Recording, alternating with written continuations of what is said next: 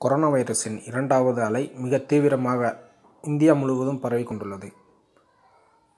மாநில முதல்வர்கள் மற்றும் தலைமைச் செயலாளர்கள் மருத்துவ வல்லுநர்கள் மட்டத்திலான ஆலோசனை கூட்டத்தின் மூலம் பிரதமர் அவர்கள் அந்தந்த மாநில முதல்வர்களை முடிவெடுக்கலாம் என்றும் பொது முடக்கம் முழுவதுமாக என்பது அந்த மாநிலத்தின் மிக பெரும் பாதிப்பு மற்றும் கடைசி ஆயுதமாகவே பயன்படுத்த வேண்டும் என்றும் கூறியுள்ளார். அதன் அடிப்படையில் தமிழக முதல்வர் மருத்துவ வல்லுநர்கள் தலைமைச் செயலாளர்களின் ஆலோசனையின் பேரில் இரவு நேர ஊரடங்கு அமல்படுத்தியுள்ளார்கள். பொது முடக்கம். இந்த பொது முடக்கத்தின் மூலம் கொரோனா வைரஸின் இரண்டாம் அலையிலிருந்து மக்களை காப்பாற்ற முடியும் என்றும் நம்பிக்கை தெரிவித்துள்ளார்கள்.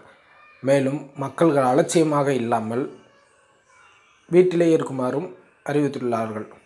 தமிழகம் முழுவதும் போக்குவரத்து தொழிலாளர்களுக்கு ஏழு நாட்கள் சம்பளம் எதுவும் பிடித்தம் செய்யாமல் ஊதியத்துடன் விடுமுறை என்று அறிவித்துள்ளார்கள்.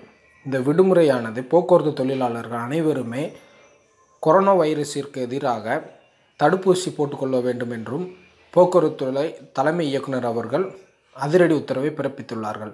இதன் மூலம் அவர்களுக்கு ஏற்படக்கூடிய உடம்பில் ஏற்படக்கூடிய சிறு சிறு மாற்றங்களையும் தனியாக கண்காணித்து அதற்கேற்றபடி அவர்கள் உடல் வெப்பநிலைக்கு ஏற்றவாறு சிகிச்சை அளிக்கப்படும் என்றும் போக்குவரத்து தொழிலாளர்கள் அனைவருமே இதற்கு ஒத்துழைப்பு அளிக்குமாறும் போக்குவரத்து தலைமை இயக்குனர் மற்றும் தமிழக முதல்வர் அவர்கள் தெரிவித்துள்ளார்கள். இந்த தடுப்பூசி போடக்கூடிய ஏழு நாட்களில் அவர்களுக்கு எந்த விதமான ஊதிய பிடித்துமின்றி விடுமுறை அளிக்கப்படும் என்று கூறியுள்ளார்கள். இந்த வீடியோ பற்றி உங்கள் கருத்துக்களை பதிவிடுங்க. செந்தமிழ் களஞ்சியத்தின் நன்றி.